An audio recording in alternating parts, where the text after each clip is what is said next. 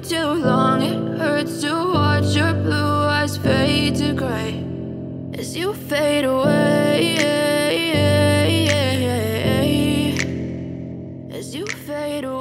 Oi, gente, tudo bem com vocês? Está começando mais um vídeo aqui no meu canal e hoje, pessoal, eu vou estar tá produzindo aqui um jogo de banheiro numas cores que eu nunca produzi na minha vida e de uma forma que eu também nunca produzi na minha vida. Hoje, pessoal, eu tô me inspirando é, numa crocheteira que pra mim é muito inspiradora, que é a Loren Crochê. Eu vou deixar o vídeo dela aqui na descrição do vídeo desse modelo. Gente, é muito lindo. As cores que ela usou é maravilhoso. Aqui, pessoal, eu vou fazer outro modelo pra minha cliente, que ela encomendou o jogo de banheiro. Mas eu vou me inspirar na combinação de cores da Loren.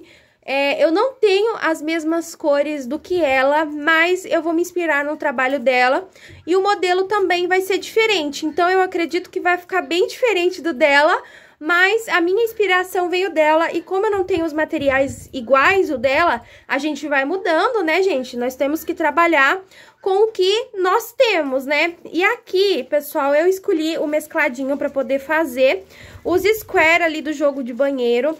Esse daqui, pessoal, é um tom de pêssego, super lindo. O fio é 85% algodão né? É bem bonita aqui essa cor, olha só que linda essa mesclagem.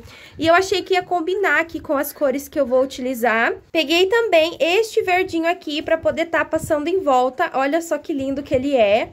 E aqui, pessoal, tem pouco verde porque eu já fiz aqui as bases, daí eu vou mostrar pra vocês.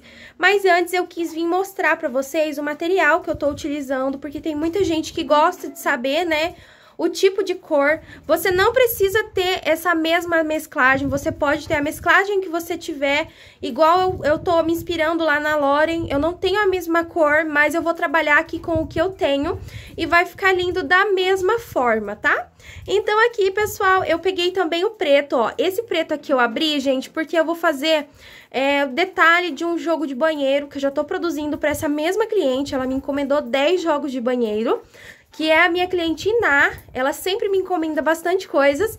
Então aí, pessoal, ela, ela me encomendou e eu já tô fazendo um jogo de banheiro, então eu vou usar no outro jogo de banheiro e nesse daqui. Eu não terminei ainda o outro, mas eu já vim iniciar esse vídeo aqui com vocês, porque de vez em quando eu vou pegando e vou iniciando vários crochês, e daí eu vou fazendo um pouquinho de cada um, porque assim, eu não enjoo de trabalhar com a mesma cor. Eu tenho disso, sabe, gente?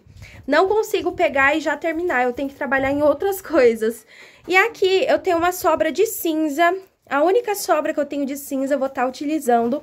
E eu queria, pessoal, estar tá utilizando ela em dois jogos de banheiro. Eu não sei se vai dar, eu vou até pesar pra ver se eu vou conseguir, né, é, fazer do mesmo jeito em dois jogos de banheiro, mas vão ser diferentes, mas eu quero utilizar também. Vamos ver aqui o que, que vai dar, né? E aqui, pessoal, eu tenho esse vermelho aqui, olha só que lindo, tem uma sobra. E aqui eu tenho um cone fechado que eu vou estar tá abrindo para estar tá utilizando aqui nessa encomenda. Esta cor aqui, pessoal, também abri para estar tá utilizando nessa encomenda. Eu não me apego a cones fechados, se precisar abrir, eu abro mesmo. O que eu gosto de ter, pessoal, é variedade. Eu, eu prefiro ter ali as variedades do que ter um cone é, fechado ali no meu estoque, né? E como os mescladinhos a gente acaba usando pouco ali para detalhe, se eu abrir aqui e usar um pouquinho, não vai fazer diferença nenhuma, né? Porque vai me sobrar bastante ainda. E como eu tinha falado pra vocês, eu já fiz aqui as bases, vou até pegar aqui pra mostrar pra vocês, gente, olha só que linda que ficou aqui com esta mesclagem, ficou maravilhoso, olha só. Ficou bem bonito mesmo, vou tentar aqui até arrumar melhor pra vocês, gente, essa minha mesa, ela tem um monte de mancha, mas vai dar. Olha só que lindo que ficou aqui esse tom, é, vocês vão ver, gente, que lá no vídeo da Loren é bem diferente aqui a minha mesclagem que eu tô usando. E essas cores aqui também são diferentes. A única coisa que vai ser igual, eu acho que vai ser o vermelho. Mas olha só que coisa mais linda. Tô apaixonada. E aqui ainda me sobrou... É, depois eu acho que eu vou estar tá fazendo mais é, bases, vou estar tá utilizando essa cor aqui. Vou estar tá utilizando também mais desse daqui, porque, gente, é lindo. Olha só que perfeição. E aí, pessoal, agora eu vou começar a passar esta cor aqui, essa daqui e vou finalizar aqui no vermelho, tá? Eu vou produzir os modelos todos iguais, igual eu venho mostrando pra vocês, dos 10 jogos de banheiro. Então, esse daqui vai ser igual o modelo, só a combinação de cores vai ser diferente. E aqui, pessoal, tô tentando fazer combinações que não utilize o cru, né? Tô tentando tirar um pouquinho do cru é, para ter assim, uma variedade melhor, eu tenho muitas clientes que preferem outras cores ao invés do cru. E essa daqui, pessoal, é mais uma ideia que veio lá da Lauren Crochê e eu acredito que vai ficar muito linda. Então, pessoal, é com esses materiais aqui que eu vou trabalhar. Vou dar continuidade aqui nesse joguinho de banheiro. Então, bora crochetar e já eu volto com o resultado final aqui mostrando tudo para vocês.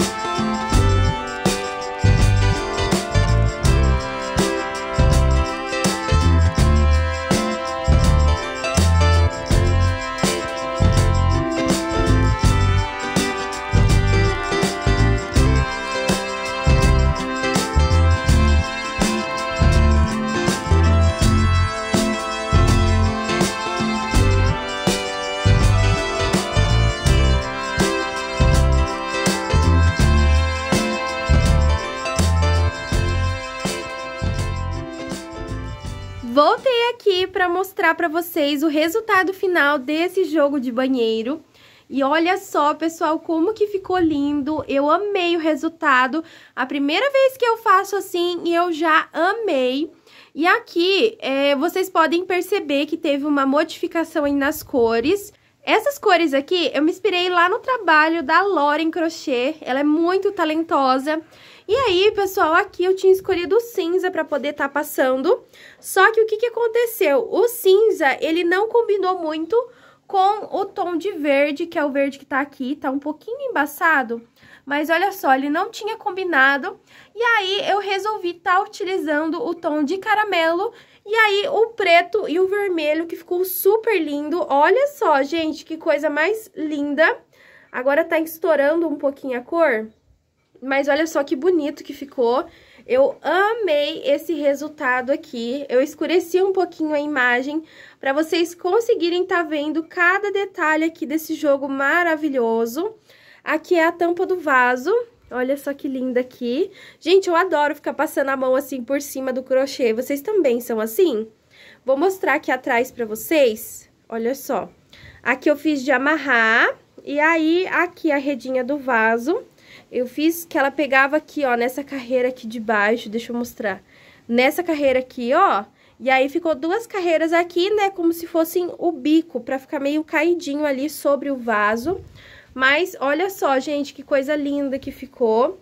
Tá tudo prontinho e eu vim aqui mostrar pra vocês essa lindeza. E a tampa, gente, olha só, ela ficou bem certinha, bem retinha aqui, ó. Só dá pra ver aqui, né, que tem a marcação da redinha aqui na frente. Mas ela ficou bem certinha mesmo, ó, bem retinha. No vaso ela fica bem perfeita. E aqui são os dois tapetes, eu vou até tirar aqui a tampa do vaso, gente, pra tá mostrando pra vocês os tapetes melhor. Eu fiz esse modelo aqui que é super simples, rápido de fazer. Olha só, a medida dos tapetes é 65 por 45, uma medida muito boa. E como eu tinha falado, pessoal, no outro vídeo pra vocês, eu não coloquei um bico grande, né? Eu coloquei esse daqui, que é mais delicado, ó. E ficou lindo assim, dessa maneira, muito bonito mesmo. E aqui eu resolvi tirar o cru, né? E usar cores escuras. Então lá a inspiração da Lauren Crochê foi maravilhoso pra mim. Porque aí eu fiz esse jogo aqui nos tons mais escuros e a minha cliente gostou muito aqui desse jogo, falou que o vermelho ficou bem bonito. E eu particularmente amo o vermelho, eu amei aqui esse resultado, ficou bem bonito. Então aqui, gente, eu trabalhei quatro carreiras no caramelo, três no preto e o restante aqui foi no vermelho, que foi uma, duas, três, quatro, cinco, seis carreiras no vermelho E esse biquinho aqui, que o nome dele é tombadinho, muitas pessoas conhecem como tombadinho, ficou perfeito. Gente, olha isso aqui. Que coisa mais linda. Os dois tapetes são iguais e olha só, gente, ele assenta super bem. Esse biquinho aqui, ele não deixa nem babadar ou nem repuxar. Ele fica perfeito, eu gosto muito de usar ele. Eu vou deixar algumas fotos aí na tela de tapetes que eu já fiz dessa mesma maneira, né?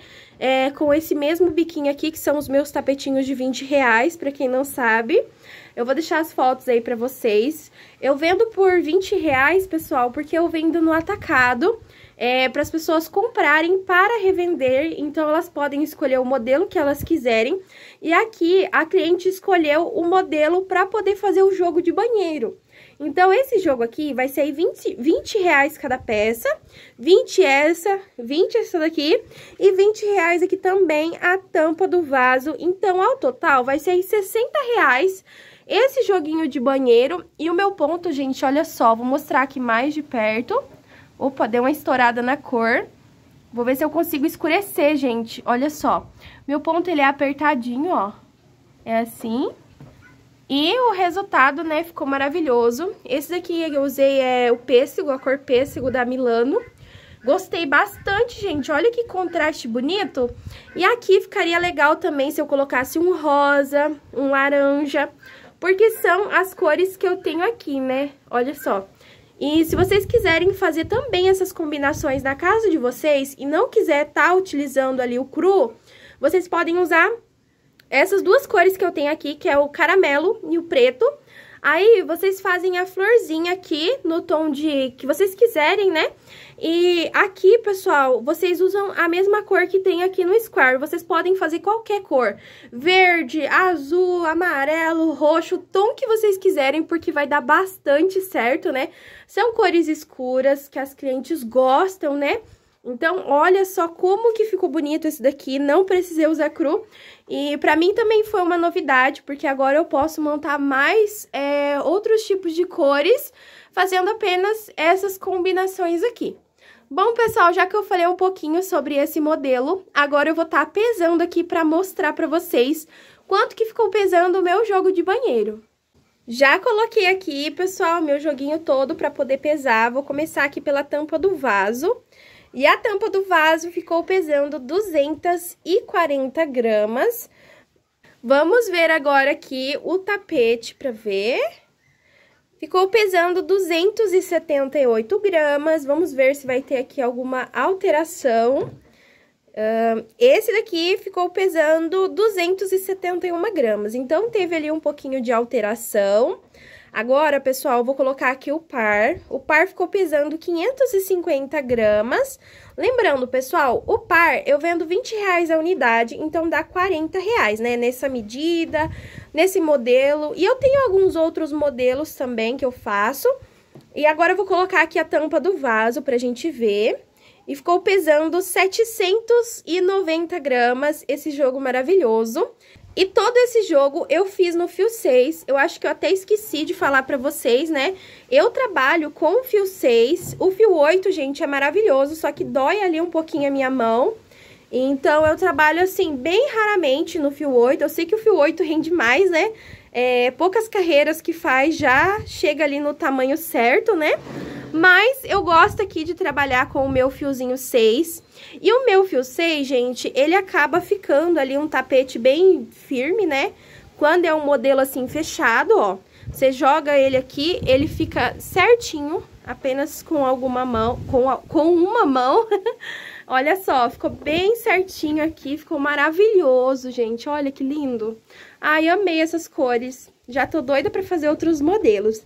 Mas então, como eu tava falando pra vocês, eu gosto de fazer aqui no fio 6. O meu, gente, quando eu faço no fio 8, fica bem duro, né? Bem firme, porque meu ponto é apertadinho. Então, ele fica bem firmezinho. Mas olha só que gracinha que ficou aqui esse modelo. E assim ficou o resultado do joguinho de banheiro aqui. Ficou maravilhoso. Olha só que lindo. Então, pessoal, esse daqui foi o resultado. Eu espero que vocês tenham gostado. Se vocês gostaram aqui dessa combinação de cores, já deixem nos comentários. Eu vou deixar uma foto para vocês verem lá do da Lauren Crochê, que eu me inspirei. Eu mandei mensagem para ela, pedi para ela me mandar a foto do, do jogo que ela tinha feito. E como eu disse para vocês, eu não tinha as mesmas cores, mas a gente trabalha com o que a gente tem, né? E o resultado, pessoal, ficou incrível. Então, olha só, se vocês gostaram aí da combinação, já vão lá no canal da Lauren Crochê para vocês verem mais combinações, porque ela arrasa para combinar. Eu sempre tô tirando inspirações lá do canal dela. Então, Lauren, ó, um beijão para você. Muito obrigada aí por estar inspirando a gente que às vezes está aqui sem ideia, com várias cores, não sabe o que fazer. E a Loren, lá no canal dela, ela tem a solução, gente. Então, bora correr lá para vocês verem o trabalho dela, que é maravilhoso. Então, gente, o resultado do meu ficou assim, fiquei super feliz, olha só que lindo. E já aproveita para vocês se inspirarem também, pode mudar o modelo que vai continuar lindo, trabalhe com as cores que você tem, que aí você vai inventando novas combinações baseado naquilo que você viu e o resultado vai ficar lindo, suas clientes vão amar. Eu espero muito que vocês tenham gostado do vídeo de hoje. Se vocês gostaram, não se esqueça de deixar aí seu comentário. Eu vou ficar muito feliz em ler. E eu espero vocês no meu próximo vídeo. Tchau, beijo!